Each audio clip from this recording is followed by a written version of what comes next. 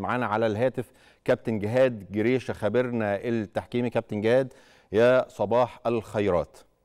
صباح الخير يا أستاذ رجاء على حضرتك وعلى كل مشاهدينك. عايزين نتكلم بقى سريعا كده على الحالات. النهارده كانت ماتش الأهلي وطلائع الجيش. مش ثلاث يعني مش حالات كتيرة هم ثلاث حالات.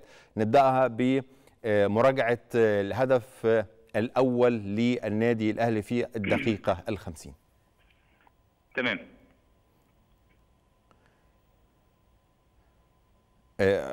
رأي حضرتك إيه تحكيميا كابتن جهاد هن... لو هنشوف أنا أنا مستني لو في صورة معاك ولا إن أنا آه آه طبعا طبعا طبعا أهي.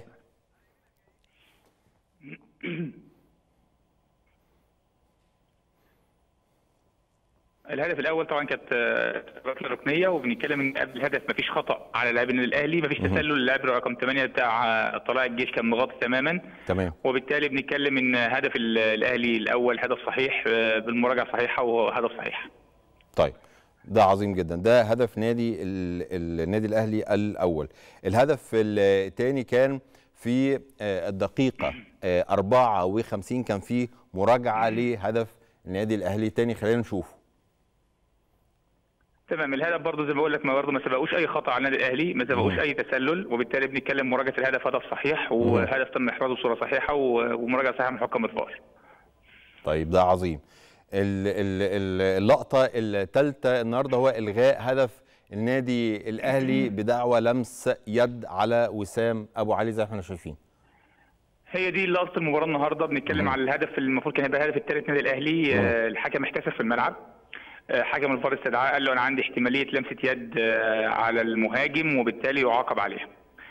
اللي حصل إن طبعا لمسة اليد على المهاجم طبعا كانت بصورة عفوية ولكن يعاقب عليها المهاجم طبقا للقانون إذا أحرز بعدها هدف مباشرة وده اللي حصل مع وسام.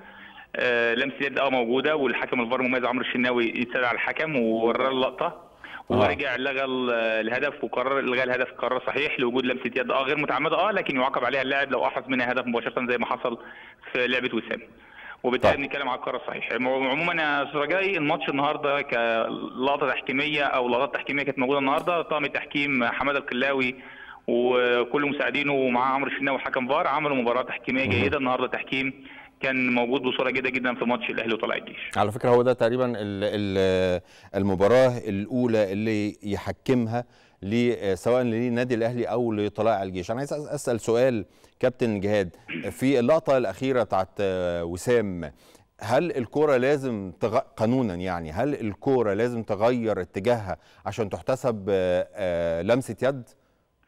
لا مش شرط. اللمسه دي مجرد تصطدم بالإيد بأي حال من الأحوال بأي اتجاه بيتعاقب عليها بلمسة يد مش شرط تغير اتجاه.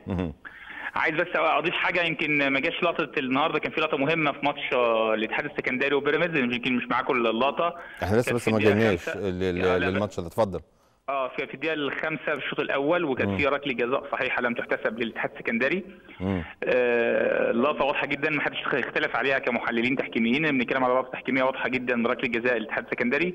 يمكن زي ما اتكلمنا على ماتش الأهلي وطلائع الجيش إن مفيش خطأ تحكيمي مؤثر عن ذيك المباراة. لكن بكلمك في الدقيقة خمسة في بداية المباراة كانت في ركلة جزاء للاتحاد السكندري وأكيد خطأ أثر على نتيجة المباراة. أي نعم الماتش خلص 4 لبيراميدز لكن بنتكلم على لقطه تحكيمية مهمة. كان لازم حكم الفار يتدخل ويستدعي الحكم ويوري اللقطة ونحتسب ركلة جزاء صحيحة للاتحاد السكندري.